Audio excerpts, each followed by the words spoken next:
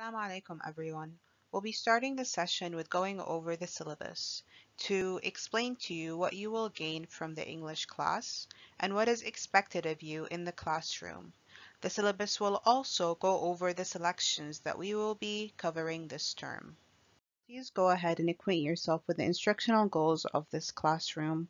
If you have any questions, please ask your teacher and specify exactly what you don't understand.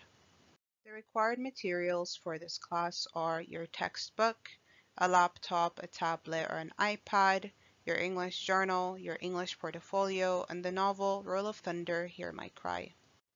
Please make sure that your portfolio has everything that you've worked on in the classroom, such as classwork, assignments, homework, and such. This is to show your teacher that you've been working during the classes. Now let's take a look at the course schedule. In term three, we'll be going over three units. First, we'll be starting with The Devil and Tom Walker, and we'll be covering this during three weeks. So in the first week, we'll be going through vocabulary study and vocabulary strategy.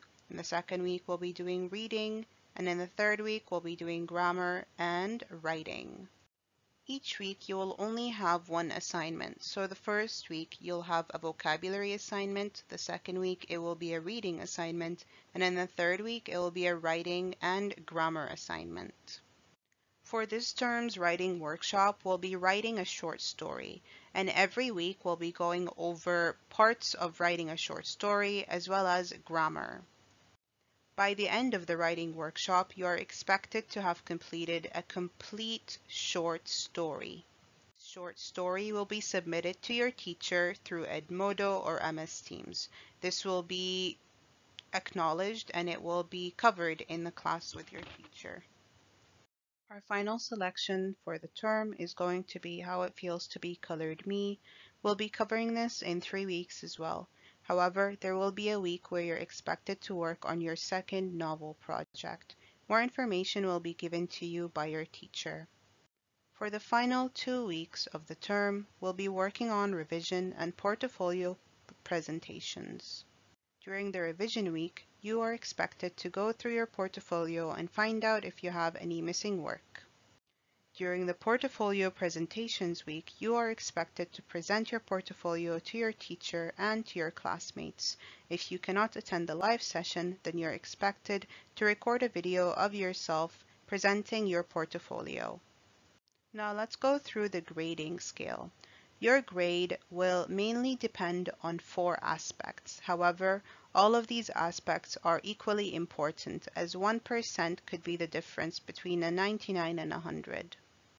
As usual, we'll have reading literature, reading informational, writing, and language. All of these are worth 15%. Speaking and listening are both worth 10% each. As for classwork and homework, as well as portfolio and conduct, they are all worth 5%. Please go ahead and acquaint yourself with the policies and procedures that we will be expecting from you as the student. Of course, just because we're doing distance learning doesn't mean that class rules don't apply. So please do read this thoroughly and report to your teacher once you are done reading it. If you have any questions about anything within this guideline, then please ask your teacher. Assalamu alaikum everyone. Today we'll be starting a new selection, The Devil and Tom Walker. We'll be starting with the vocabulary. In total, this selection has 12 target vocabulary words, but for this session we'll be focusing on six of them. For our do now, please read the following sentence and then answer the question, what is an antonym for the word melancholy? In the next slide, we'll be discussing the learning intentions of today's class and the success criteria. Basically, what are you getting from this class? The intentions of this lesson are the following to identify the vocabulary words within the text, to use context clues to find the vocabulary word meanings, and to use the vocabulary words to form meaningful sentences. By the end of this session, you'll hopefully be able to identify the vocabulary words within the text, use the context clues to find the vocabulary word meanings, find synonyms and similar meanings to the new vocabulary words, and create meaningful sentences using the vocabulary words. Our first word is avarice, used in the following example. There seemed to be no limit to Tom's avarice. He would do anything for money. So avarice means extreme greed or want for materialistic things. Now, in simpler terms, we could say someone that's greedy could be described as someone that has avarice.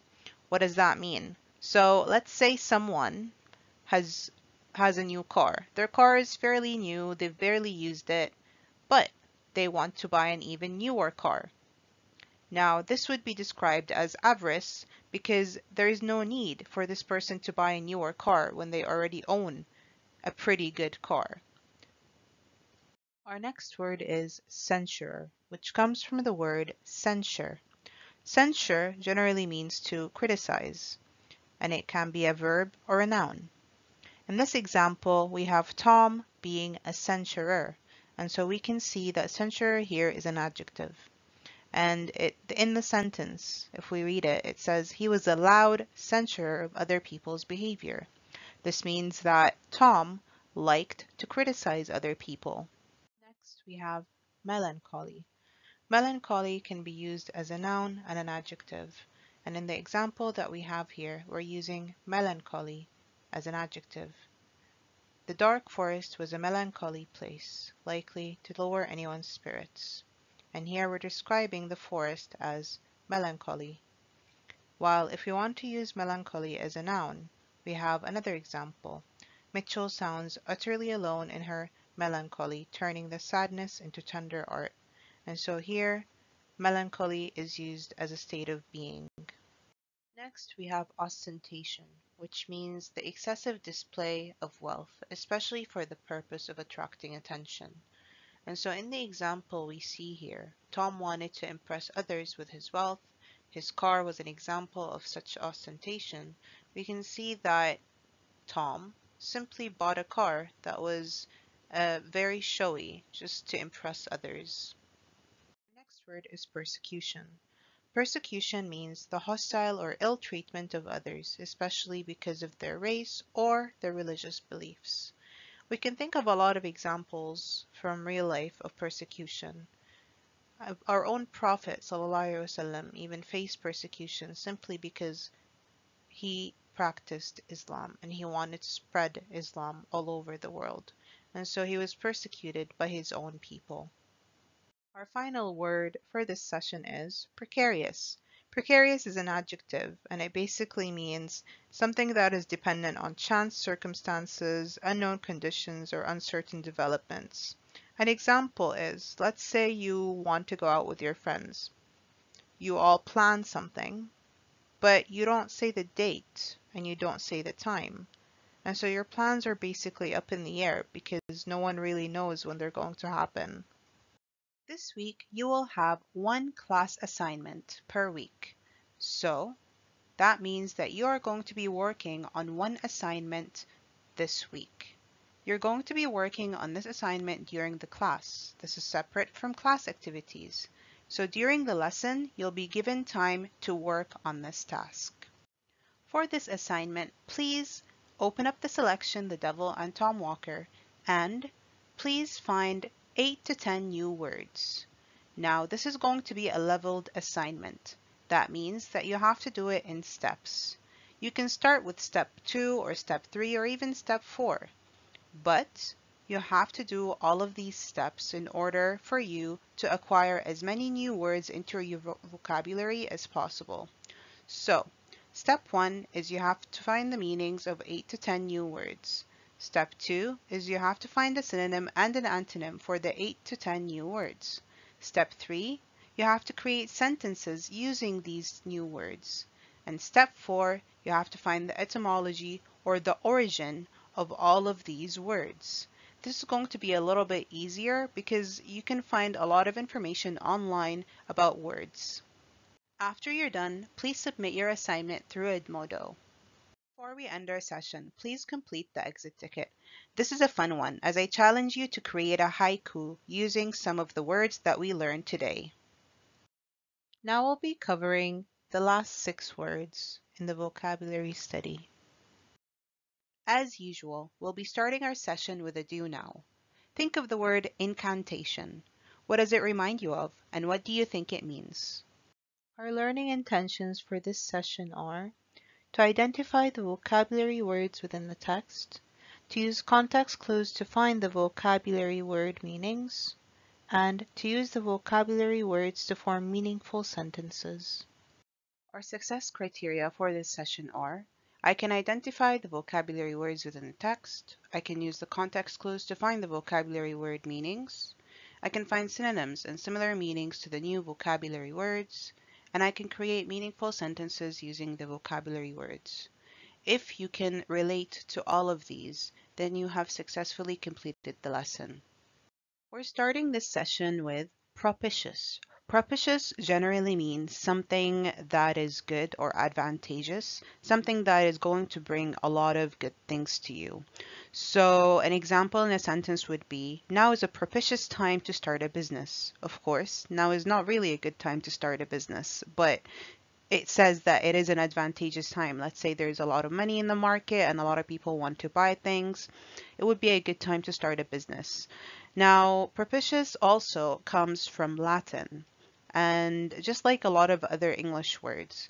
And it has synonyms uh, such as favorable and auspicious, which all mean the same thing, which is pointing towards a happy outcome. Our next word is speculating, which comes from the word speculate. They are both verbs. However, speculating is the present participle of speculate. How do we know that it's a present participle? Because it, it's a form of verb ending with ing. Now, speculating means guessing generally. So if we want to relate it to the current times, we can think about when we first stopped attending school.